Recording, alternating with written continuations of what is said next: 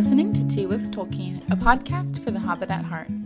Join us as we chat about the works and faith of J.R.R. Tolkien and strive to carry a little piece of Middle Earth into our own daily lives. This is the fifth in a seven part book club series on The Lord of the Rings. If you'd like to catch up and start at the beginning, you can just go back to episode one of this season. These episodes will be released on the first of each month now through March to accompany our book club as we are reading The Lord of the Rings together. I know we're almost to the end, but if you would like to join our book club, you can visit teawithtolkien.com slash book dash club. I will be providing notes and kind of like a transcript of this episode to all of our patrons. So if you feel like you'd like to support Tea with Tolkien and you would benefit from having all of these notes in a written form, please consider joining us. You can learn about our Patreon tiers and benefits at patreon.com slash tea with Tolkien. So this month we are going to be reading and discussing book five of The Lord of the Rings, which is the first half of The Return of the King. So let's just jump into chapter one, Minas Tirith. After several days' journey, Gandalf and Pippin arrive at Minas Tirith. Gandalf speaks with authority to the men of Gondor, who refer to him as Mithrandir, and he journeys at once to see Denethor, steward of Gondor. They come to find him as he is holding in his lap a great horn cloven in two, the horn of Boromir. At this, Pippin tells all about the death of Boromir, um, and he ends up pledging his service to Denethor as a gesture of repayment for the loss of his son. After all of this, he is sent forth from the hall, and he is eventually accompanied by this guy named Beregond, who is a soldier of Gondor.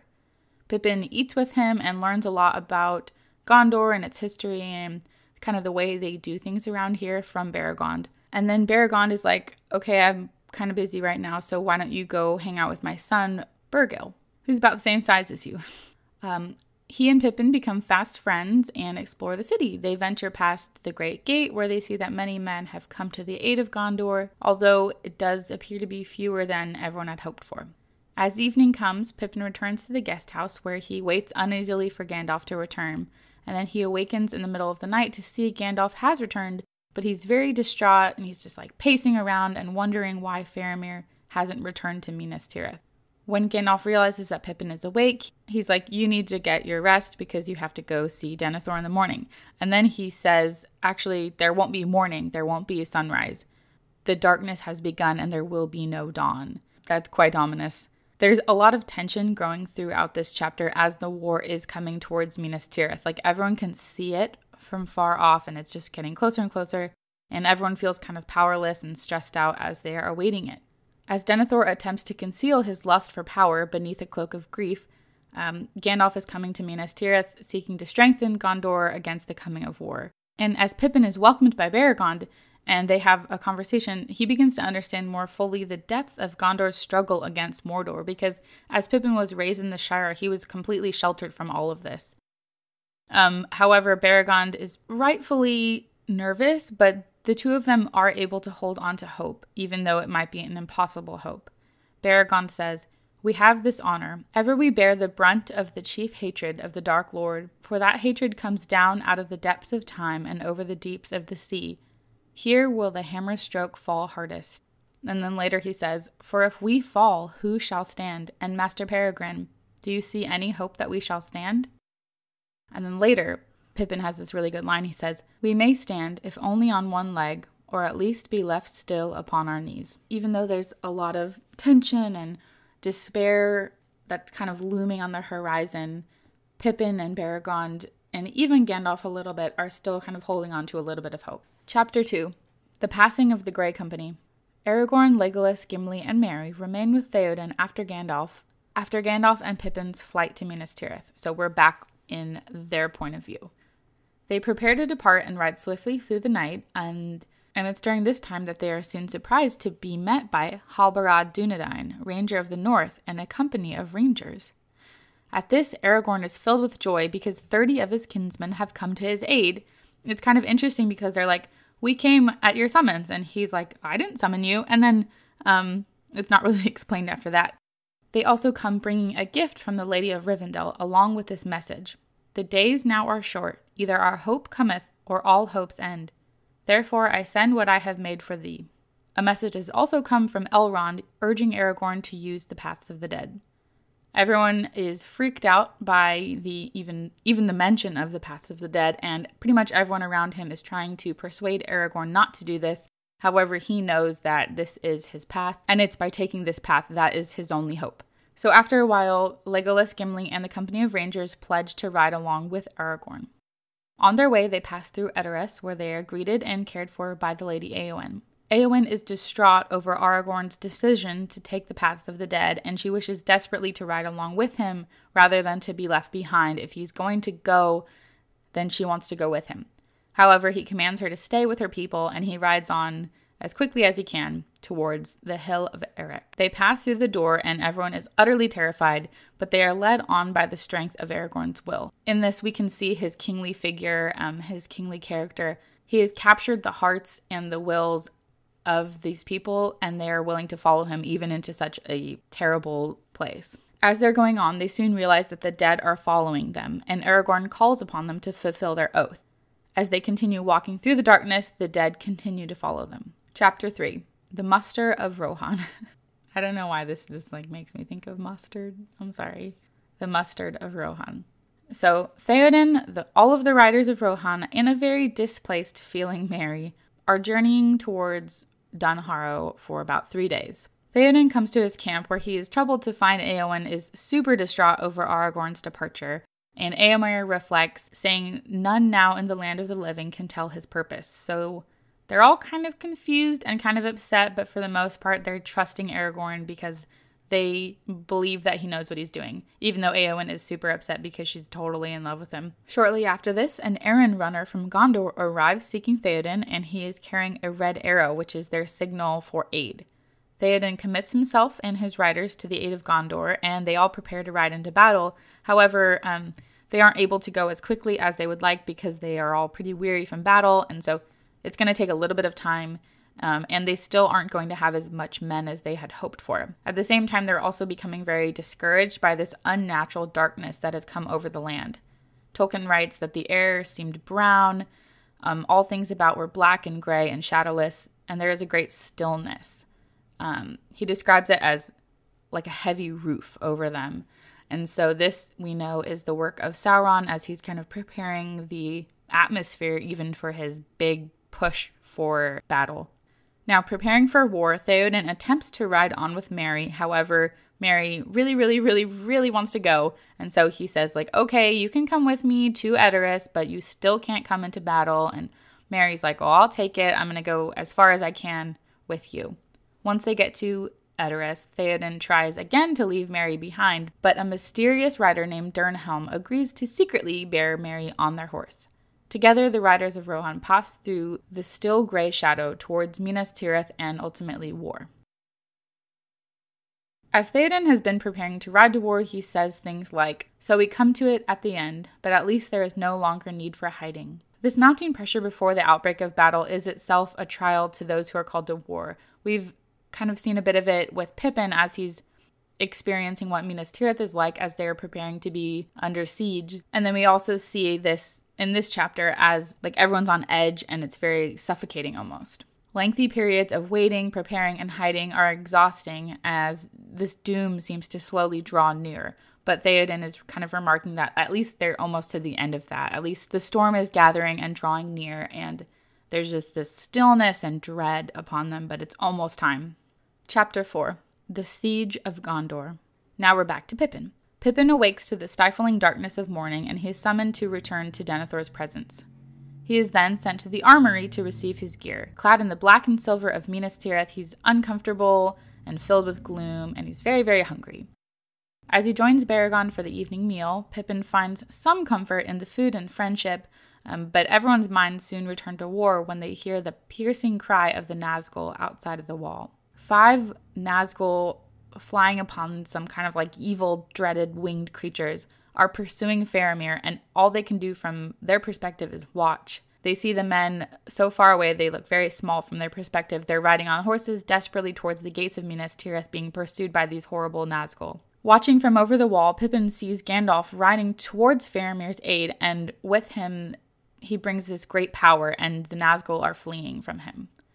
Faramir is able to enter the city, and when he does, he's super surprised to see a halfling, revealing to his father and Gandalf that this is not the first halfling that he's seen. He then tells them about how he met with Frodo and Sam, and Gandalf is super troubled to hear that they are taking the path of Cirith Ungol. In this chapter, we really get to see how awful Denethor is to Faramir.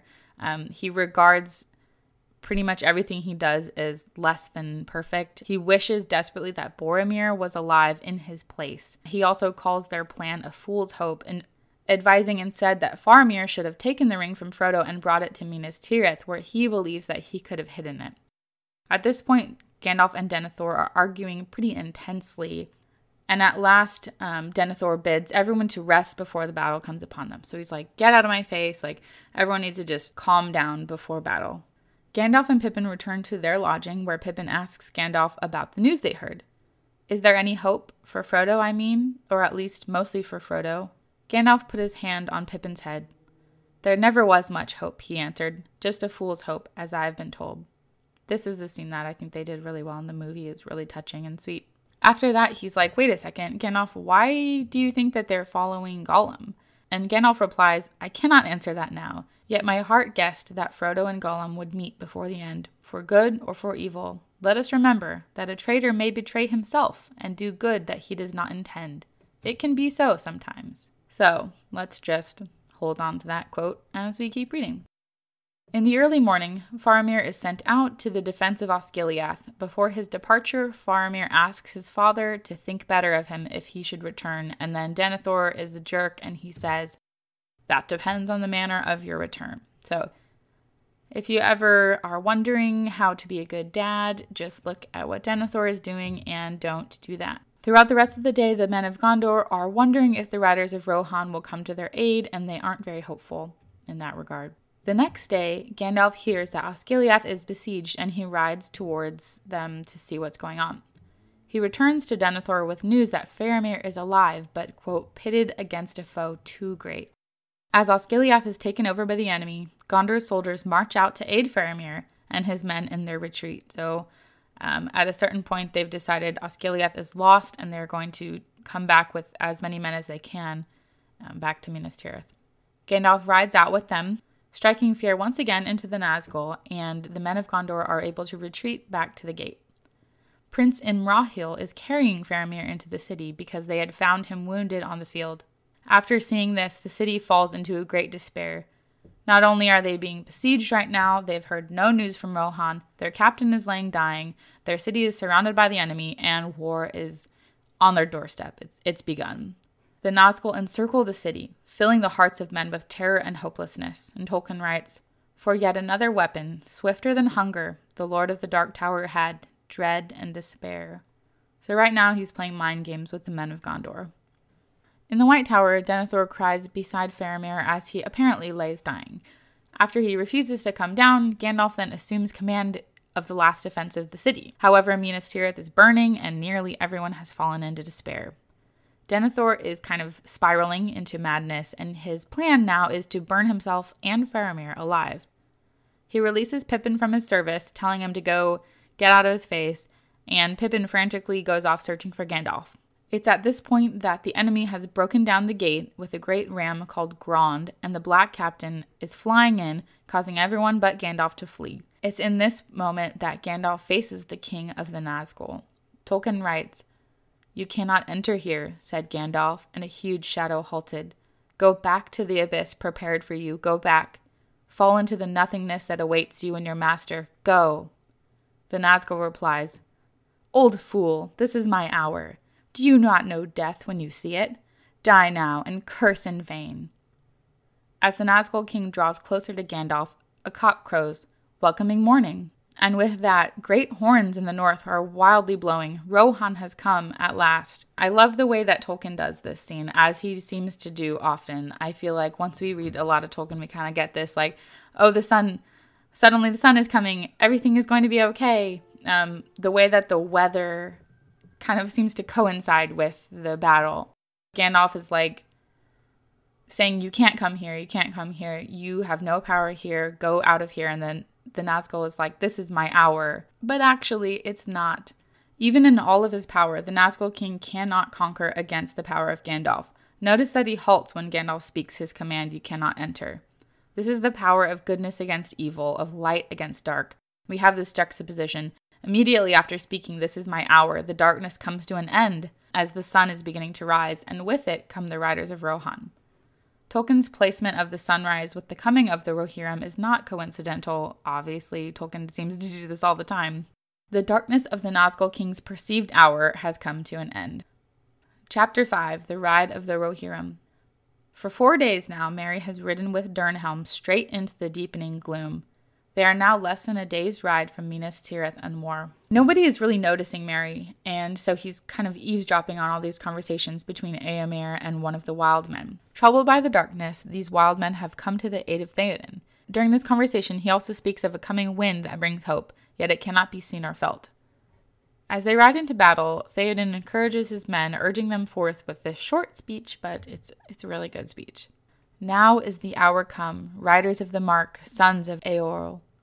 Foes and fire are before you, and your homes far behind.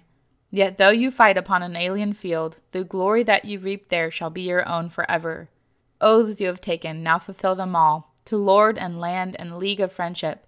Forth now, and fear no darkness. They arrive, and they fear that they have come too late because they see what looks to be a pretty bleak scene. However, Theoden calls again to his men Arise, arise, riders of Theoden. Fell deeds awake, fire and slaughter. Spear shall be shaken, shield be splintered, a sword day, a red day, ere the sun rises. Ride now, ride now, ride to Gondor. With a renewed hope and filled with the joy of battle, the riders of Rohan come to the city as the sun rises and all the hosts of Mordor are filled with terror. Theoden fills his riders with hope and encouragement as they ride into battle, urging them to fulfill their oaths and to attain glory that could be theirs forever, to fear no darkness and to ride for Gondor. He speaks in a loud voice that Tolkien describes more clear than any there had ever heard a mortal man achieve before, and it's with this call that he leads his men into battle. It's in Theoden that we are seeing an incredibly just and valiant king, even though he had been under such a wicked influence of Wormtongue when we first met him. We've seen in these last couple of chapters how good of a king he is. In contrast to Denethor, who sends even his own sons into deadly peril, yet remains in the protection of his White Tower, Theoden is riding before all of his men. Tolkien writes, Behind him his banner blew in the wind, the white horse upon a field of green, but he outpaced it. After him thundered the knights of his house, but he was ever before them. We have this image of Theoden riding forth before his men, and they're all following him into battle, which I think is a really good image of what a king should be like. That stands in pretty huge contrast to what we see with Denethor. Chapter 6 The Battle of the Pelennor Fields. As the riders of Rohan come upon Gondor, they find that the assault is being led by the king of the Ringwraith, the lord of the Nazgul, the Witch King of Angmar. Seeing the Rohirrim, he seeks out their king, and so Theoden charges to meet them. He pierces Theoden's horse with a black dart, and he falls, crushing Theoden beneath him. He then comes to Theoden, wielding a great black mace, but Dernhelm stands between them. Do what you will, but I will hinder it if I may, Hinder me, thou fool! No living man can hinder me, the Nazgul king replies. And it seemed that Dernhelm laughed, and the clear voice was like a ring of steel. But no living man am I. You look upon a woman. Eowyn I am, Eomund's daughter. You stand between me and my lord and kin. Begone if you be not deathless. For living or dark undead, I will smite you if you touch him. Merry uh, is pretty This kind of reminds me of the way that Superman puts on his glasses and nobody knows who he is. Merry um, doesn't recognize Eowyn because she has a helmet on. So Merry is extremely shocked. However, he's he wants to help Eowyn because he realizes that she shouldn't be alone. She shouldn't be fighting alone. So Merry actually is able to pierce the leg of the Nazgul King from behind him, which causes him to stumble. And Eowyn uses this as an opportunity to drive her sword between his crown and mantle thus killing the thus killing the Witch King of Angmar, the Lord of the Nazgul. And having destroyed her foe, she falls to the ground. So I want to talk a little bit about this whole scene. As Eowyn responds to the Nazgul King's taunt, no living man may hinder me, he's filled with sudden doubt. Um, and I've often wondered why revealing that she was a woman seems to cause him to pause, and I kind of wanted to spend a minute digging into this scene. Some have referred to Glorfindel's words in Appendix A as a prophecy in regards to the fate of the Nazgul king. Um, he says, He will not return to this land, far off yet is his doom, and not by the hand of man will he fall. These words many remembered. However, I'm unsure whether or not he intended this to mean like any sort of prophecy or anything specific to men themselves, or if he just meant it to be understood that he meant the strength of men couldn't conquer the strength of the Nazgul King. Yeah, so I would love to hear everyone's perspective in the Discord. But in the end, the Nazgul King meets the same fate as Saruman and Sauron might in the end.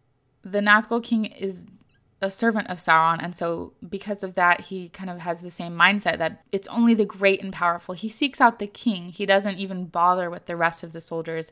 He he thinks that only the great are able to destroy him, and it's in his arrogance that he's really brought down. He disregards women and hobbits. He doesn't even realize that they're there, um, and this is his downfall. And this is kind of the way that all of Tolkien's villains end up falling. It's it's the unexpected hope the eucatastrophe. This is a little eucatastrophe within the big story, with the destruction of the Witch King of Angmar. Tolkien's heroes are, are always the unlikely, the overlooked, the quiet, and the meek. And I love that he used a hobbit and a woman, two people who weren't even supposed to be on the battlefield in the first place, to bring down the Nazgul King. So I just love this part. So, not far from her, Theoden is lying dying, and then Merry comes up to him and he speaks his last words. Then Eomer sees Eowyn fallen upon the battlefield and he freaks out because he didn't realize she was there and he's worried that she's dead. He actually assumes she's dead. After this, he rides towards the city crying, Death, ride, ride to ruin and the world's ending. The battle continues to rage on and it's not looking very good. However, suddenly Aragorn arrives from the paths of the dead and following him is this great army of the dead, which fills the hosts of Mordor with dread because they were completely not expecting this at all. After this, the battle turns to Gondor's favor, and though they have lost a great number of their own, they are victorious. So I think this would be a good spot to pause and talk a little bit more about Eowyn because truly her character is one of my favorites, and I think she's one of the most important women in The Lord of the Rings, really. Since there aren't that many, she's a really good one. I think we should talk about her for a minute. Tolkien writes a few chapters ago all your words are but to say, You are a woman, and your part is in the house. But when the men have died in battle and honor, you have leave to be burned in the house, for the men will need it no more. But I am of the house of Eorl, and not a serving woman. I can ride and wield blade, and I do not fear either pain or death. What do you fear, lady? Aragorn asked. A cage, she said, to stay behind bars until use and old age accept them, and all chance of doing great deeds is beyond recall or desire. Eowyn has lived a life of duty and service and stewardship and caring for her people in the ways that she was permitted as a woman to do.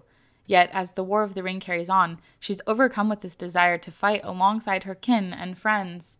I can ride, she says, and wield blade, and I don't fear pain or death. She's begging Aragorn to allow her to follow him in battle. And ultimately, he says no because he wants to keep her safe and protect her, and he also doesn't want to overstep his boundaries because this is kind of something she needs to be talking to Theoden about. But even after all of this, she's been patient and patient and, and obedient and she's done her best. But after a certain point, um, she just decides to ride on and she's without hope and she's really seeking some kind of a glorious death in war because she's so discouraged. By disguising herself as Dernhelm and carrying Merry into battle, she's actually able to serve her people in a way which she never would have been able to do had she remained home. And though she's overcome with despair and a desire for nothing more than death, she brings with her the strength to defend her king. Standing before the Nazgul king, she's prepared to lose her own life for the protection of Theoden, her kinsman and king, and yet with the help of Merry, who is also not supposed to be in the battle, um, they're victorious against such great evil her bravery in the battle echoes like a fierceness and a strength of love that we see throughout a lot of other characters in The Lord of the Rings. And as an added depth to her character, this imagery of Eowyn as she cuts off the head of the Nazgul King's winged beast, it evokes the Blessed Virgin Mary as she stands crushing the head of the serpent. Now, a few questions that I think would be great for discussion in the Discord. As Merry comes to Theoden as he lay dying, he apologizes for disobeying his orders. However, Theoden replies with grace, saying, Great heart will not be denied. How does this reaction reflect the culture of Rohan? Why do you think Eowyn so greatly desired the chance of doing great deeds? It really seems like that was top priority to her. And I think it would be fun to kind of dig into the culture of Rohan to see why we think that was so important to her. Chapter 7 The Pyre of Denethor. Back in Minas Tirith, Pippin runs to Gandalf, urging him to return to the Citadel because Denethor is planning to burn Faramir and himself alive. They find Beregond as he holds the door against the servants of Denethor who have brought torches to him. Gandalf recognizes that Denethor has gone completely mad. He uses his power to cause his sword to fly from his hands and away from him. Denethor tells them that Faramir is already burning, so Gandalf pushes past him, but he is relieved to find that Faramir is alive and asleep not burning.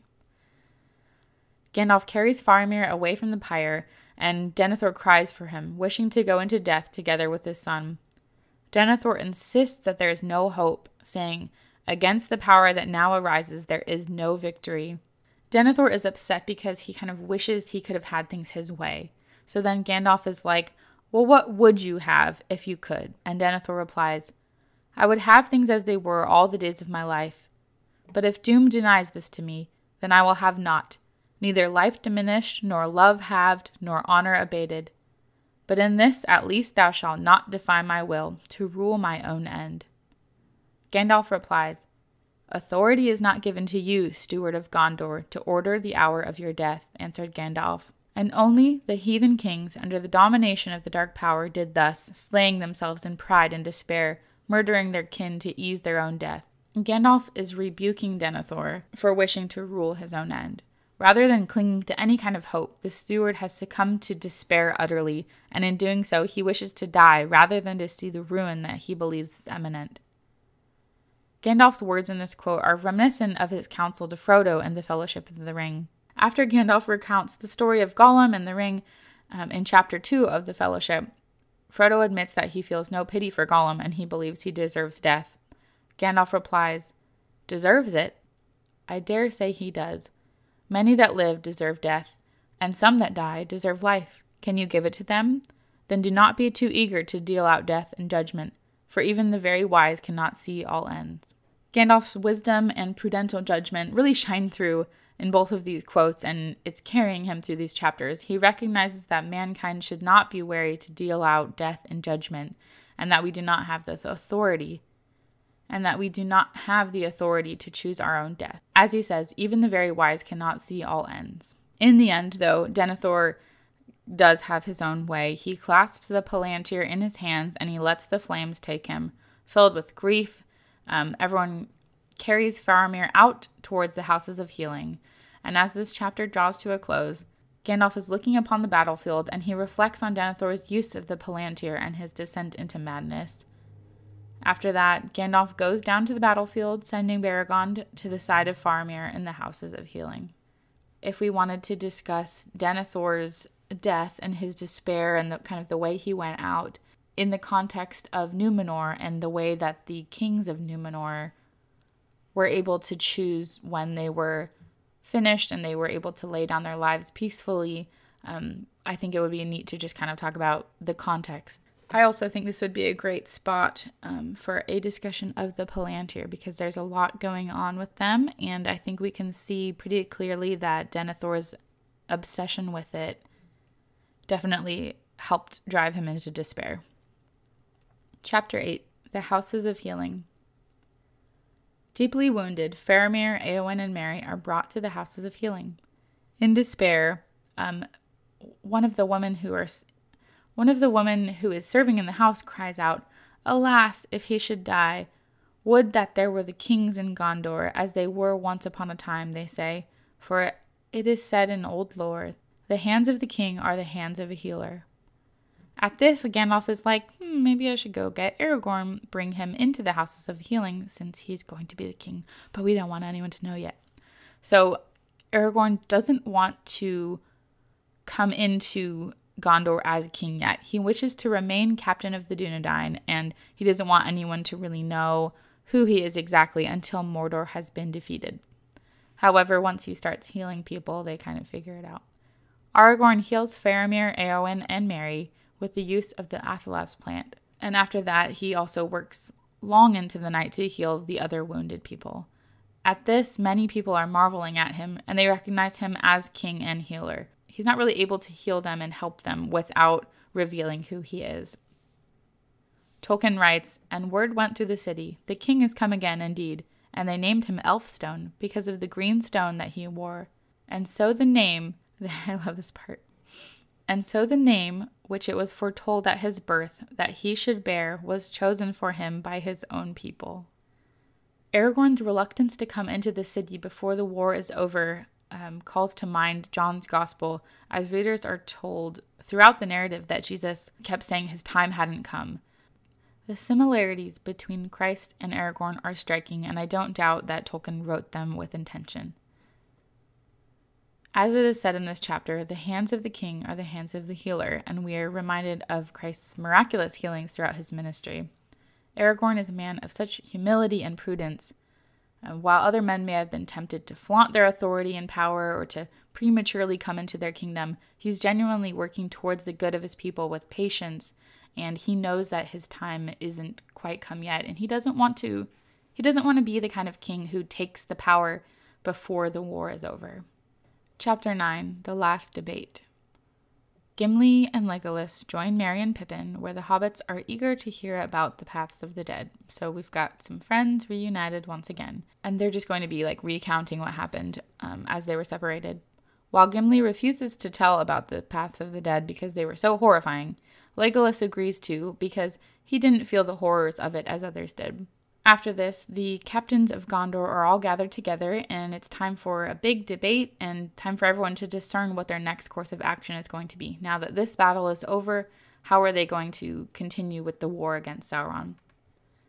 Gandalf counsels the captains that Sauron is in great doubt, knowing that they have found his ring and that there are some among them with the strength to wield it. Tolkien writes His eye is now straining towards us, blind almost to all else that is moving so we must keep it. Therein lies all our hope. This, then, is my counsel. But we must at all costs keep this eye from his true peril.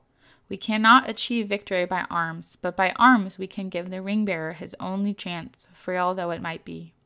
Gandalf advises the men to march towards Mordor and to call Sauron out and to empty his lands and to meet them in battle at the Black Gate. Though small in number and weary, they gather their forces and get ready to march towards the gates of Mordor during this scene, there's this really good uh, quote that I want to pull out. Tolkien writes, Other evils there are that may come, for Sauron himself is but a servant or emissary. Yet it is not our part to master all tides of the world, but to do what is in us, for the succor of those years wherein we are set, uprooting the evil in the fields that we know, so that those who live after may have clean earth to till. What weather they shall have is not ours to rule. So this quote um, reminds me again of Gandalf's like, we only have, all we have to do is to decide what to do with the time given to us. Like, that's a totally paraphrase, I've ruined it, but he understands that they can't control what things will be like in a hundred or a thousand years from now. All they have to do is choose what to do right now to rid evil as best they can. He counsels the men of the West, saying, We cannot achieve victory by arms, but by arms we can give the ring bearer his only chance.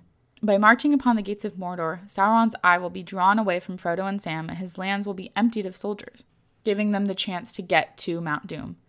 The fate of the entire world now rests on the shoulders of two small hobbits, yet the part of men is not over. While there is no chance of victory in the battlefield, Gandalf calls for the men of the West to step outside themselves for a cause greater than their own lives, and they accept it. Chapter 10 The Black Gate Opens. I love this chapter's title as it's a nod to the Black Gate is closed in the Two Towers. So before, where we had Frodo and Sam at the Black Gate, now we have the men of the West united and they're preparing to march upon the Black Gate to challenge Sauron in one last battle. Also, important to note, Merry is left behind at Minas Tirith. He's not too happy about it, but what can you do?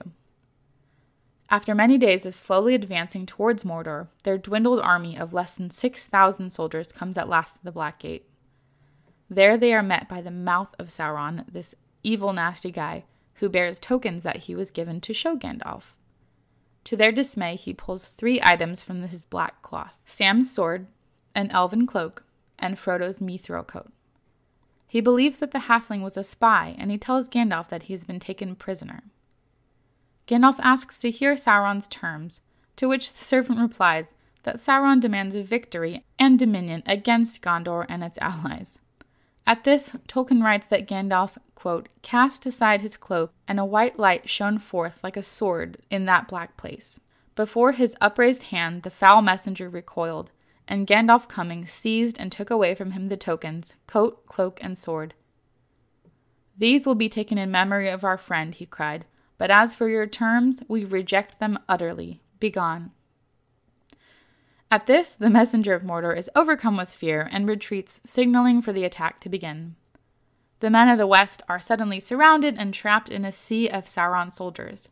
At the outbreak of battle, Pippin stabs a troll and is crushed by it, and as he lays Believing himself to be dying, he hears voices crying, The eagles are coming. And with this, we come to the close of Book 5. Thank you so much for listening. I will be back on February 1st with the final part of The Lord of the Rings, Book 6, the second half of The Return of the King. If you've enjoyed this podcast, I would love to hear from you. You can reach me on Twitter or Instagram at Tea with Tolkien or by using the handy dandy contact form on my website at teawithtolkien.com. I look forward to hearing everyone's thoughts in the Discord and um, just seeing how this discussion is continued. This podcast isn't really meant to be a monologue, it's meant to be something that serves as like a springboard for our book club discussion. So I would love to hear from you, hear your thoughts. Um, I just look forward to it. I think it's great. Our book club has been so wonderful so far. So thank you for everyone who's participated. I can't wait to see what everyone has to say about this book.